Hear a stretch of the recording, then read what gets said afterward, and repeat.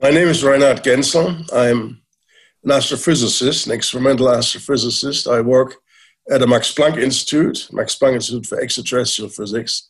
And I'm interested in my, my team and I are interested in studying massive black holes um, and, and the formation evolution of the universe. One effect that Einstein's general relativity theory predicts is the Schwarzschild precession. Can you explain what that is?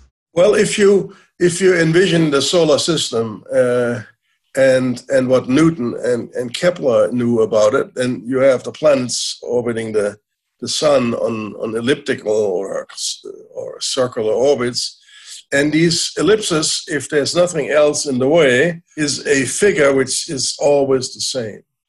Okay, it stays the same in the orbit, and the, the planet orbits around the sun for all times. Not so in general relativity.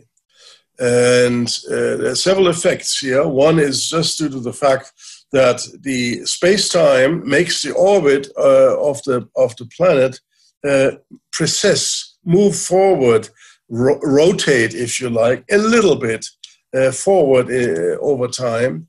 And if the sun has a, a angular momentum, so it rotates, uh, then there's a second effect, which is also a precession. We must, as scientists, that's our that's the scientific method, keep on testing in different parts of parameter space whether a theory is correct in order to either, you know, find it is correct or it is not correct.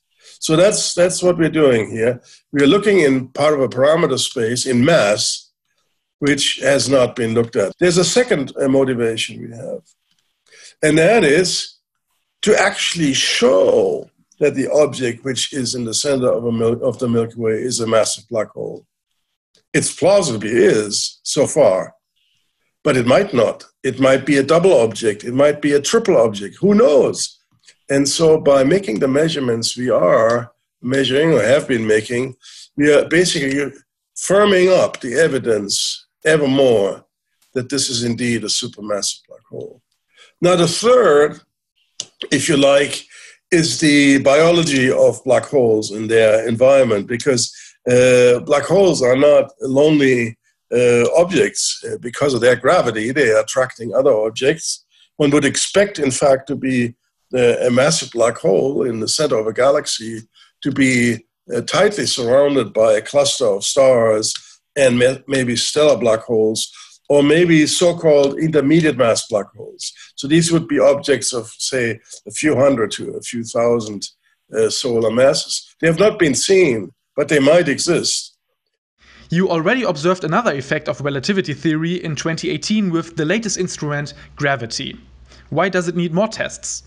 The effect we're seeing now is basically uh, true for, for, for objects with a mass. Now, general relativity, uh, in contrast to Newton, also says that uh, gravity affects the motion of uh, massless uh, things like light. Uh, so, if, if, if, if you have a flashlight or a laser and you're close to a black hole and you shine that to us at a large distance, then the laser light uh, has to climb out of the massive gravity around the black hole and its energy lessens. And so we see it red shifted. So that's one of the effects. Uh, the next one we were, would like to see is the effect of the spin.